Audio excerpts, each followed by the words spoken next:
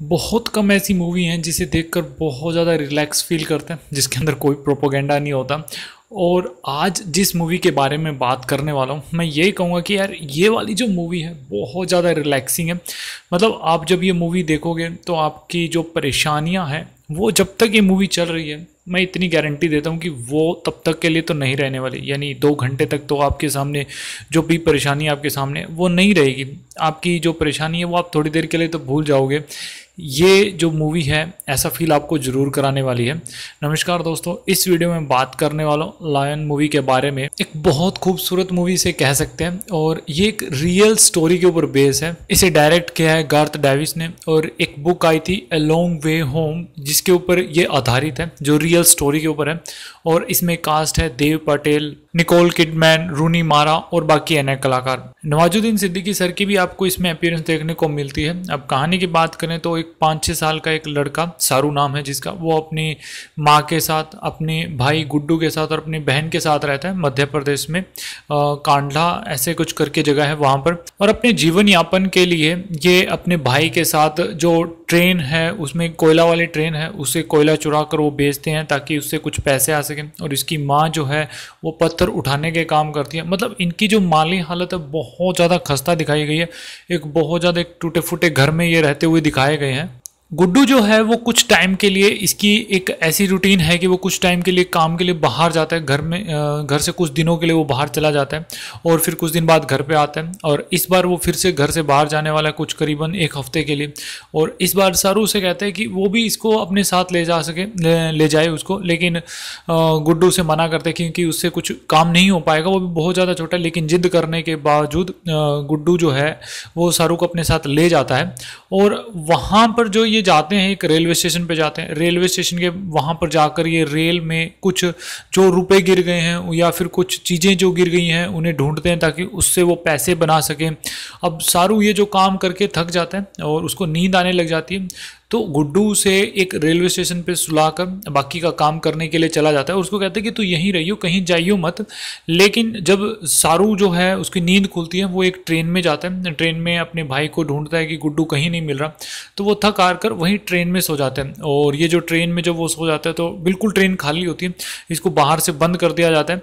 और ये जाके जो रुकती है, वो काफ़ी दिन तक इस ट्रेन में रहता है। जब इसकी नींद खुलती है, देखते हैं कि ट्रेन जो है, वो चल पड़ी है, काफ़ी चिल्लाता है, कोई इसकी मदद नहीं करता।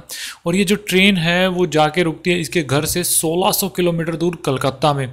अब एक छोटा बच्चा जिसको कुछ नहीं पता अपने घर के बारे में, उसको नहीं पता कि उसे अब कहाँ जाना है, और यहाँ पर सिर्फ़ उसे एक ही नाम पता है, गणेश तले। उसे ये भी नहीं पता कि गणेश तले है कहाँ पर। बस इस नाम के भरोसे वो अपने भाई को ढूँढने में लगा हुआ है, अपनी माँ को ढूँढने में लगा हुआ अपने घर को ढूँढने में लगा हुआ है, लेकिन कहीं पर भी कुछ नहीं होता और इस बीच उसे बहुत सारी परेशानियाँ भी मिलती हैं कि भाई उसे बच्चा चकने वाले लोग भी मिलते हैं, लेकिन वहाँ से वो अपनी जान बचा कर भागते हैं। जैसे वो जान बचा कर भागता है तो उसे एक औरत मिलती है, जहाँ पर आपको नवाजुद्दीन सिद्दीकी सर की थोड़ी बहुत अपीरेंस आपको वहाँ देखने को मिलेगी। वो इनका जो है इसे बच्चे को बेचना चाहते थे मतलब तब सरू वहाँ पर इनकी जो अंदर की इंटेंशन है, वो समझ आता है और फिर वहाँ से वो अपनी जान बचा कर भागता है। और अब यहाँ पर कोई इंसान जो है, वो सरू की मदद करता है और उसको पुलिस स्टेशन में छोड़ता है। पुलिस स्टेशन से वो अनाथालय में जाते हैं। अनाथालय से उसे अडोप्ट किया जाता है। ऑस्ट्रेलिया के एक परिवार के द्वारा उसे अडोप्ट कर लिया जाता है। अब सरू जो है, पहले अपने गाँव से अपने गाँव से 16 सौ किलोमीटर दूर कलकत्ता में। अब कलकत्ता से अब वो जाने वाला है ऑस्ट्रेलिया, क्योंकि एक ऑस्ट्रेलियन परिवार ने उसे अडॉप्ट कर लिया है। अब अब अपनी जो लाइफ है, अब वो वहाँ पर जाता है। ये 1986 की जो है, यहाँ पे जो वो ऑस्ट्रेलिया जाता है 1986 की जो दिखाया गया है, उस वक्त वो टाइम होता है, वो ईयर होता है। अब वो जब तक बड़ा होता है, तब तक वो वहीं रहता है कि अब 20 साल अचानक से गुजरते हुए दिखाते हैं कि उसके 20 साल गुजर गए। अब बीस साल बाद एक पार्टी में उसको याद आता है कि उसका एक भाई है उसकी माँ है। वैसे दिखाया गया उसे आ, कुछ चीज़ें याद आती रहती लेकिन वो अपनी लाइफ में ऐसे खो गया था जो उसको जो लाइफ दी गई थी एक इतनी लग्जरी लाइफ जो उसे मिल रही थी। बस उस उस आलस में उसके कारण वो अपने परिवार को बोल गया था। लेकिन अब एक होता है कि मैच्योरिटी का लेवल कह सकते हो कि अब उसे वो चीज़ें अब तड़पा रही हैं कि अब उसे टेंशन हो रही है कि उसकी माँ कैसी होगी, उसका वेट कर रही होगी, उसका भाई कैसा होगा, उसकी बहन कैसी होगी, सब उसका वेट कर रहे होंगे। वो किस हालत में होंगे, ये सब चीज़ें इसके अंदर दिखाई गई हैं। और मैं एक चीज़ यहाँ पर कहना चाहूँगा कि जो इसमें जो बच्चे की जो परफॉर्मेंस है, छोटा बच्चा जो इसमें दिखाया गया, वो ज़बरदस्त मुझे लगी। फिर ये नहीं कि उस बच्चे की बाकी इसमें जितनी भी परफॉर्मेंस हर एक सिंगल आर्टिस्ट ने जो अपनी परफॉर्मेंस दी है, वो बहुत ज़्यादा मुझे ज़बरदस्त लगी यहाँ पर।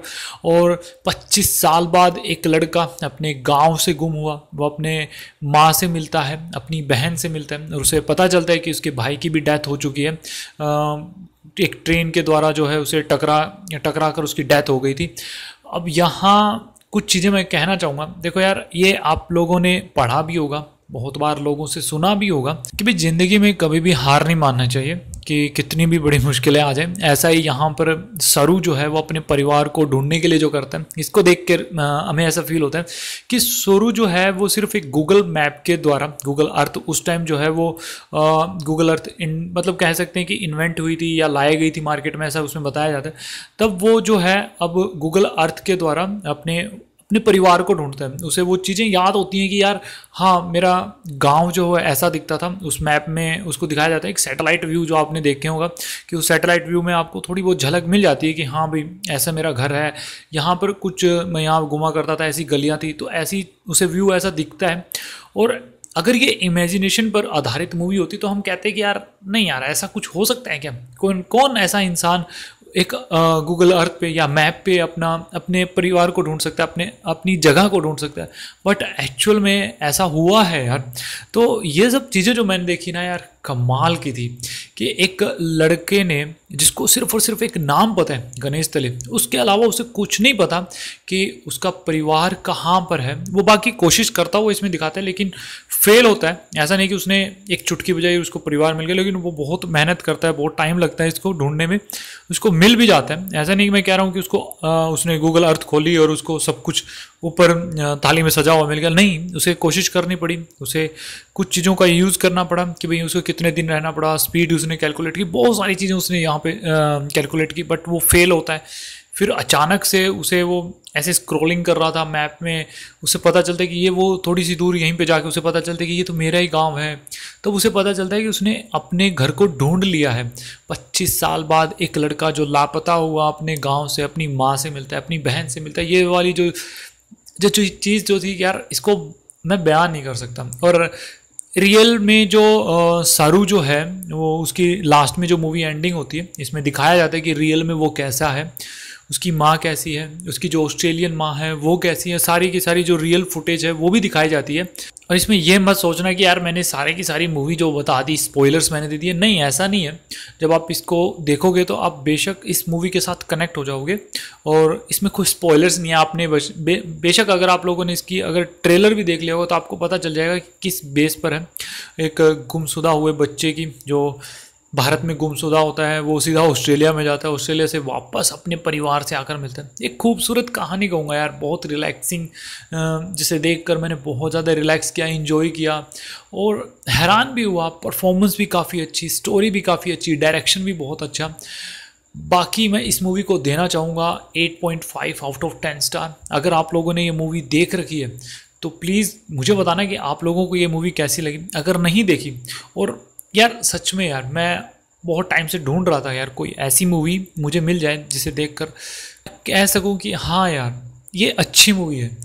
एक एंटरटेनिंग मूवी है, इससे कुछ सीखने को मिलता है, ये बहुत रिलैक्सिंग मूवी है। तो ये वाली वो मूवी मैं कहूँगा कि आप ज़रूर जाकर देखो, अगर नहीं देखी है, और बाकी जिन्होंने देख लिए तो एज़ यूज़ुअल कमेंट करके बताना कि आप लोगों को कैसी लगी, सबसे फेवरेट चीज़ क्या लगा, और इसके अंदर आपको हैरानी करने वाली चीज़ क्या लगती है कि आप किसको देखकर इसमें जब से ज़्यादा हैरान हुए? मुझे तो सबसे ज़्यादा हैरानी तो वो मैप को देखकर होती है कि भाई एक इंसान एक गूगल अर्थ पे अपने परिवार को ढूंढ रहा है, अपने जगह को वो ढूंढ लेता है। कमाल की चीज़ें यार, एक इंसान चाहे तो कोशिश करे तो कर सकता है यार, ऐसा नहीं कि और एक्चुअल में जो हुआ है, वो शुरू ने करके दिखाया और अब इसके नाम पे आ जाते हैं कि इसका नाम तो लायन है, और इसमें कहीं ऐसा कोई, इसका नाम लायन है तो कैसे, कहाँ पर, किस वजह से पड़ा? तो पता चलता है कि जो 25 साल से ये लड़का जो है अपना नाम ही गलत ले रहा था, सारू सारू इसका नाम नहीं था, इसका एक्चुअल नेम जो था वो शेरू था शेरू हाँ शेरू था, जिसको इंग्लिश में लॉयन नहीं कहेंगे। तो ये जो था वो इसके मूवी के ऊपर नाम रखा गया। यार बस आज के लिए इतना ही था इस वीडियो में। Thanks for watching this video मिलते हैं नेक्स्ट वीडियो में। जय हिंद।